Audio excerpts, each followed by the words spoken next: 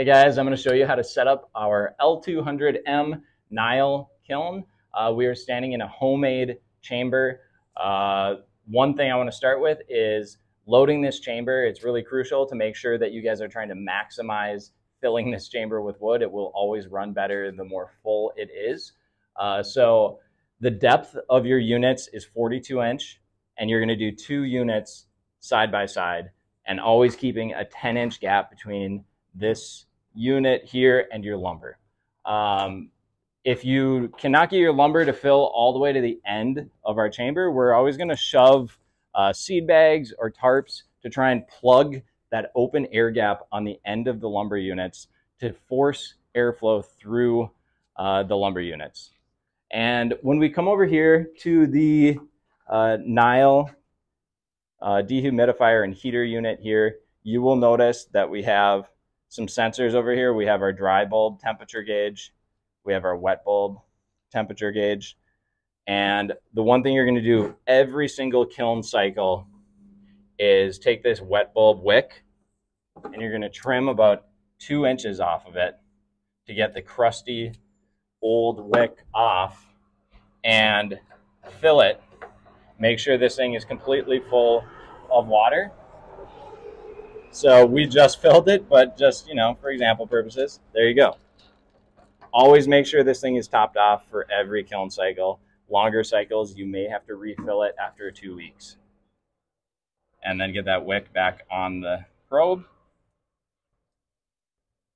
Next thing I want to do is check and make sure the way that we get rid of our condensate water, I have it coming out of a PVC tube. Make sure this thing is clear of debris, which it's good and I'll double check that the pump works. And this pump transfers the water into a bigger tank. So I can see that that's discharging the water and I hear it running, so that is good to go. And then the next thing I want to show you guys is your moisture probes. So there's up to four of these sets of probes you can put in the lumber units. Um, I am always going to uh, do at least two probes, usually I'm going to use, and it's a 10 millimeter socket. You have several different size screws for different thickness of lumber that you're using.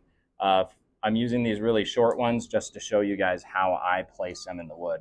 I'm usually going to try and locate a lower grade section of lumber. So that would be somewhere near like a knot or a tighter grain. And I'm usually going to try and insert these about one inch on center. So from the center of this screw to the next one should be about an inch apart.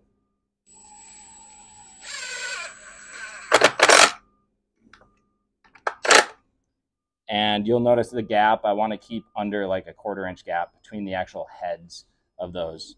Uh, and then these probes, you'll notice they're slit. There's like four little sections of it. I always want to like spread these out a little to make sure I'm spanning the metal. I'm just using a little feeler gauge here to make sure that they go into these screws nice and snugly and don't rattle out during the unit or during the cycle. So that's how I do that. Next step, I just want to show you guys on this unit, there is an overload protection switch inside of here, if the unit ever runs over temperature, it'll set off this switch and turn off the dehumidifier compressor. Um, and I'm going to show you where it is because it is pretty important.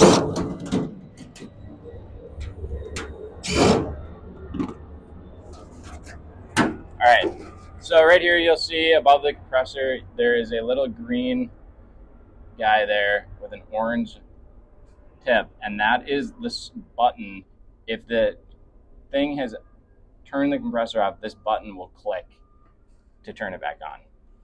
And that's it. Um, now I just want to show you guys how I set up the computer for our basic drying cycle, which is usually to dry reclaimed beams.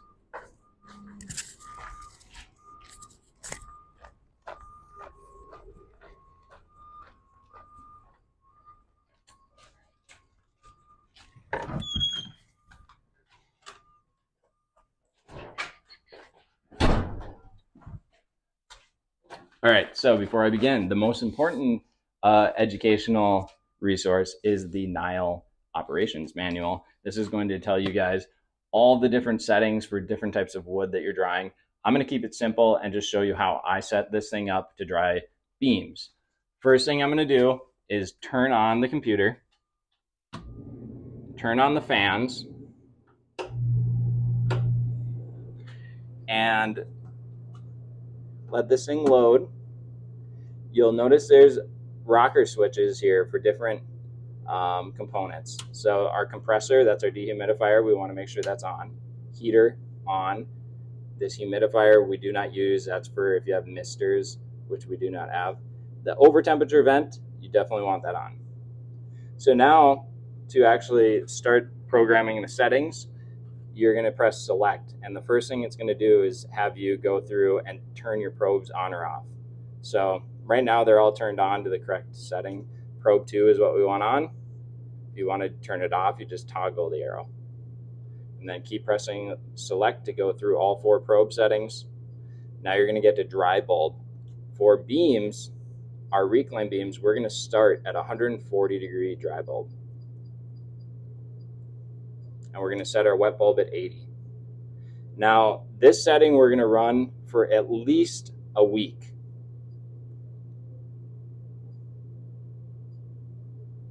So now we have this set. Our probe is reading 4% moisture, which is way below normal, but that piece of wood that we put probes in was already dry. Your beams are mostly going to be around 20% moisture and you're going to want to keep this thing running until that moisture content gets around 8 or 10% moisture coming from your probes, which that's what those numbers mean. Um, when you do finally get it down to that moisture level you want, 8 or 10%, which is going to take about a week at this setting, we're going to now uh, set pitch and sterilize.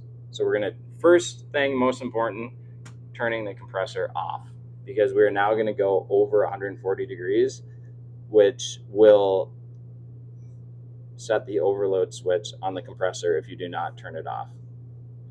So we're going to cycle through, get to our dry bulb, and turn the dry bulb to 160.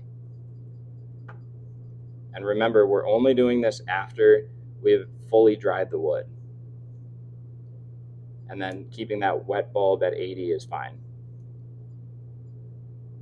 Now, as soon as the temperature reading gets to 160 degrees, I usually want to run it at 160 degrees for two or three full days to set pitch and sterilize the wood. Um, if you guys are doing other type of lumber, other thickness of lumber, I'm going to use the drying schedule in the manual to help me set my dry bulb and wet bulb temperatures. So it is going to guide you, you know, if you're starting with really wet wood you know, depending on the species, you're going to start your dry bulb really low at 90 degrees and your wet bulb really close to that. And slowly, incrementally work your way up as the wood is drying. Um, and usually finishing your cycle off at 140 degrees for like hardwoods. But when we're doing beams, we basically just want to we want to scorch them to sterilize them and get them really hot to set pitch in the wood.